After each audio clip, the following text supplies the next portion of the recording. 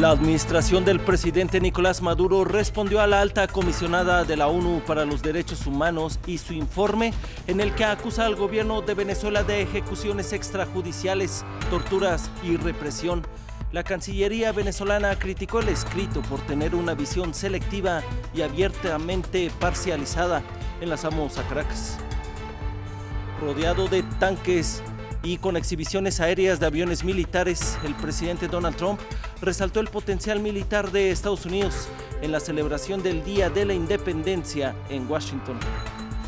En Sudán, la oposición y la junta militar que gobierna el país han acordado compartir el poder en la etapa de transición hasta que se convoquen elecciones.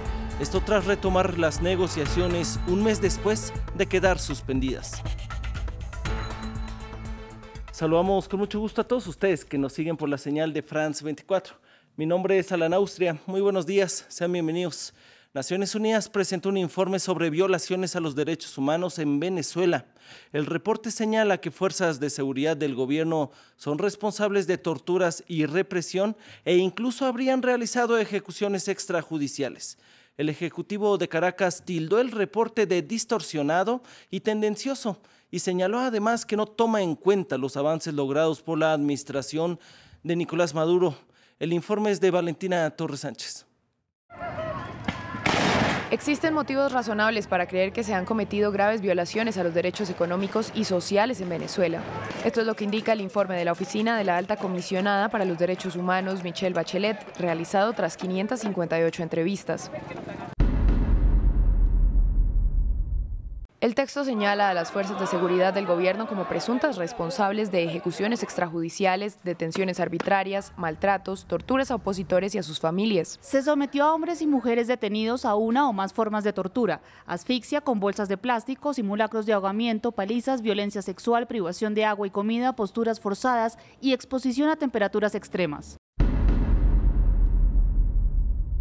El documento registra que hay discriminación, represión y persecución por motivos políticos, hegemonía comunicacional de parte del gobierno y criminalización de la oposición. Hay una retórica pública que desacredita y ataca a quienes critican al gobierno y se oponen a él. Los defensores de derechos humanos fueron víctimas de campañas de difamación en los medios de comunicación progubernamentales y sometidos a vigilancia, intimidación, hostigamiento, amenazas y detención arbitraria. Asimismo, enfatiza que el gobierno no es capaz de garantizar que los ciudadanos no pasen hambre y tengan acceso a medicamentos.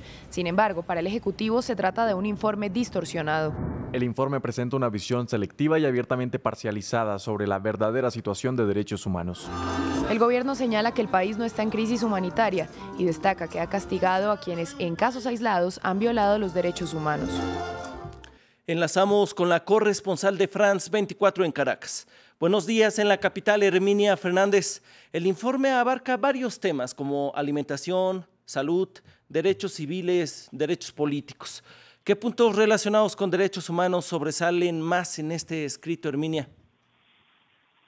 Sí, en este informe que será expuesto el día de hoy por Michelle Bachelet en, en, las Naciones Unidas, en la parte de los derechos humanos, también resalta la parte de la libertad de expresión, habla de que hay una hegemonía comunicacional en Venezuela por parte del gobierno de Nicolás Maduro, también habla de que ha habido periodistas detenidos, ha aumentado la cantidad de periodistas detenidos, tanto nacionales como incluso extranjeros, habla de que se han cerrado medios de comunicación impresos, radios, también habla que han sido detenidas personas, personas solamente por opinar en las redes sociales. También ese informe habla de la parte económica y dice que eh, las sanciones económicas de parte de, Estados Unidos eh, no, tal como lo dice el gobierno de Venezuela, que supuestamente han afectado eh, que, que, puedan pagar la comida y los programas sociales, Bachelet dice en este informe que es desde el 2017 que empieza a ocurrir el, el declive económico y que las sanciones ya vinieron después. Herminia, ¿cómo recibieron los venezolanos este informe y qué se espera en la manifestación que ha sido convocada por la oposición para el día de hoy? Sí, la parte de la oposición, los señores de la oposición quedaron contentos con este informe. Eh, ayer lo expresaban en redes sociales y, bueno, en las opiniones en general. No se esperaban esto de, de Michelle Bachelet pero quedaron eh, contentos. La parte del gobierno, por supuesto, los señores del gobierno dicen que es un informe bastante errado. Hoy hay una marcha justamente para protestar sobre los derechos humanos, eh, llamada por Juan Guaidó. Esta marcha llegará a la sede de la Dirección de Contrainteligencia Militar para reprochar la muerte del capitán de corbeta Rafael Acosta que ocurrió la semana pasada mientras se encontraba bajo custodia mm. militar y estaba siendo procesada por terrorismo. Se espera que termine eh, pacíficamente y bueno, es una, es una de las manifestaciones que hace la oposición un mes después y justamente para protestar eh, por los derechos humanos eh, una vez que salió este informe. Herminia Fernández, te agradecemos tu reporte. Seguiremos pendientes contigo con nuestra corresponsal de France 24 en Caracas. Nos vamos al norte del continente americano, pues Estados Unidos celebró ayer el Día de la Independencia con un despliegue de aviones y tanques de guerra.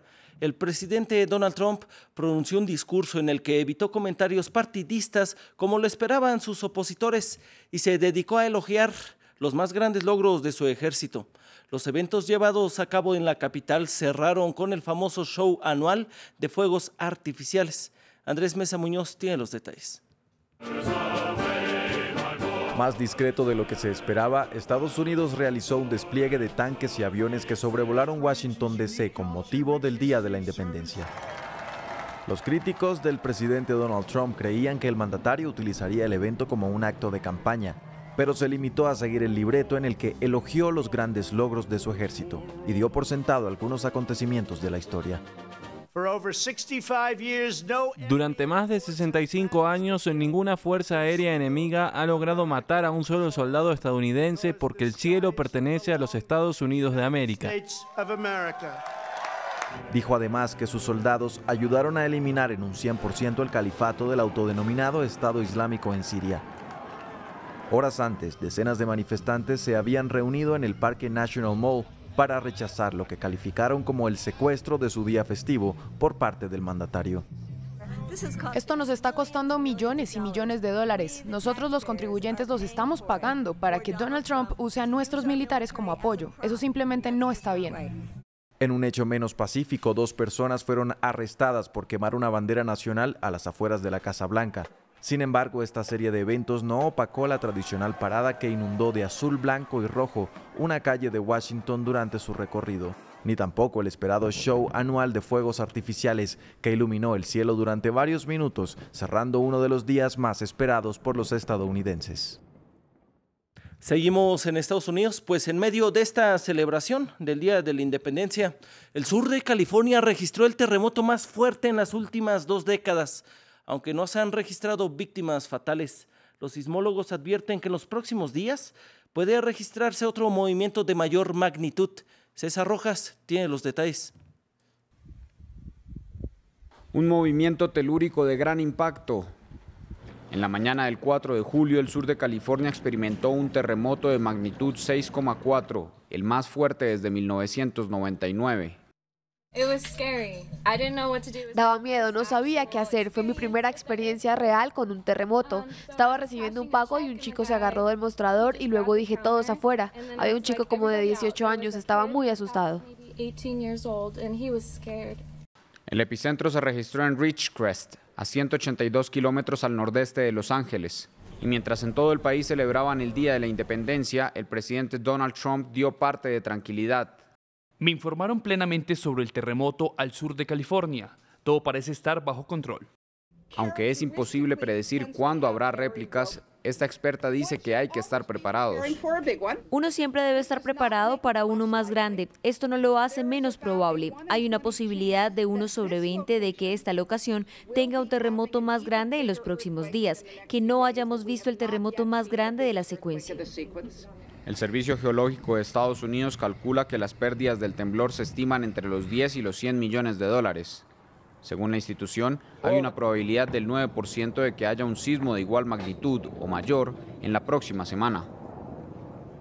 El gobierno mexicano sigue defendiendo la entrada en vigor de la Guardia Nacional, impulsada por el presidente Andrés Manuel López Obrador y que ha originado protestas y es que este cuerpo combina efectivos del ejército, de la policía y la marina, un conjunto de fuerzas que han sido acusadas en el pasado de asesinatos indiscriminados en su lucha contra el narcotráfico. Los detalles los tiene Juan Pupiales. Una promesa de campaña que levanta polémica. El presidente Andrés Manuel López Obrador inauguró el domingo su nueva Guardia Nacional, un conglomerado de 70.000 efectivos del Ejército, la Marina y la Policía Federal. Obrador, decías que todo cambiaría. Mentira, mentira. Estos últimos han protestado estos días en rechazo a la nueva Guardia. Es lo que no aceptamos, que nos quieren volver militares. Cuando somos policías, los que mínimo llevamos mínimo ocho años para arriba y no queremos la Guardia Nacional. El gobierno niega que los nuevos miembros de la Guardia Nacional vayan a sufrir recortes de salario o queden con menos prestaciones. No se va a despedir a nadie, no se le quita ninguna prestación laboral a nadie Obrador defiende a su Guardia Nacional e incluso ha llegado a expresar que podría sustituir al ejército. Desde 2006, estos uniformados hacen parte de una polémica campaña entre las fuerzas de seguridad contra el narcotráfico que deja unos 250 mil muertos y según activistas incluye muertes indiscriminadas. Si fuese la Policía Federal un cuerpo suficiente y adecuado, no estaríamos en los niveles de inseguridad que hoy tenemos. La Guardia Nacional sería una nueva imagen para unas fuerzas de seguridad que el año pasado fueron testigos de la tasa de homicidios más alta desde que se tiene registro. En Sudán, la junta militar que gobierna el país y la oposición llegaron a un acuerdo para compartir el poder hasta que se convoquen nuevas elecciones en tres años. Desde diciembre, la oposición ha liderado una serie de manifestaciones que llevaron al derrocamiento del presidente Omar al-Bashir esto tras tres décadas en el poder. Sonrisas y saludos por todas partes sobre un acuerdo de reparto de poder. Una hoja de ruta tentativa sobre quién va a gobernar hasta que se convoquen las elecciones. El compromiso fue mediado en gran parte por los enviados etíopes y de la Unión Europea. Las dos partes acordaron establecer un consejo soberano que se compartirá entre los militares y los civiles durante tres años o un poco más. Durante el periodo de transición de tres años, el nuevo cuerpo gobernante estaría liderado por los militares la mitad del tiempo, con un líder civil al mando durante los otros 18 meses, aunque quedan dudas sobre si los militares realmente renunciarán al poder, al tiempo que fuentes dicen que comenzaría la rotación.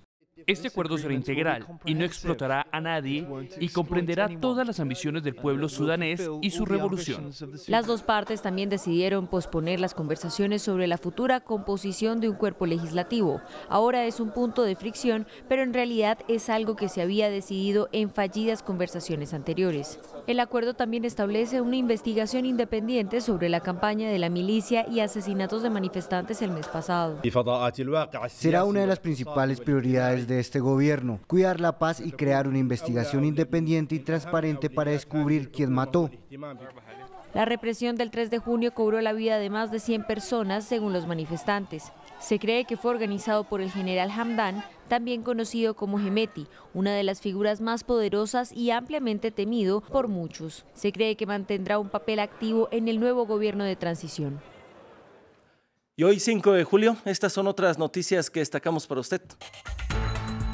Vigésimo viernes consecutivo de protestas en Argelia para exigir una vez más un Estado civil y no militar. Para esta jornada, el movimiento de protesta popular convocó en la capital a una marcha histórica a pesar de que las últimas han vivido una creciente represión de la policía y decenas de personas han sido arrestadas. A través de una nota, el estudiante australiano Alex Sigley, liberado el jueves por las autoridades norcoreanas, agradeció el apoyo recibido, al tiempo que señaló que pretende regresar a la normalidad y precisó que no hablará con los medios de comunicación. Sigley permaneció detenido más de una semana en Corea del Norte. Alberto Fernández, precandidato a la presidencia de Argentina por el peronista Frente de Todos en fórmula con la exmandataria Cristina Fernández, visitó al expresidente brasileño Luis Ignacio Lula da Silva preso por corrupción. Fernández pidió que Lula sea liberado. Finalizamos con la Copa América, pues la selección peruana ya llegó a Río de Janeiro con la ilusión de ganar una final 44 años después. Perú aterrizó por la noche con todas las expectativas de ganar en la final al anfitrión. Los dejamos con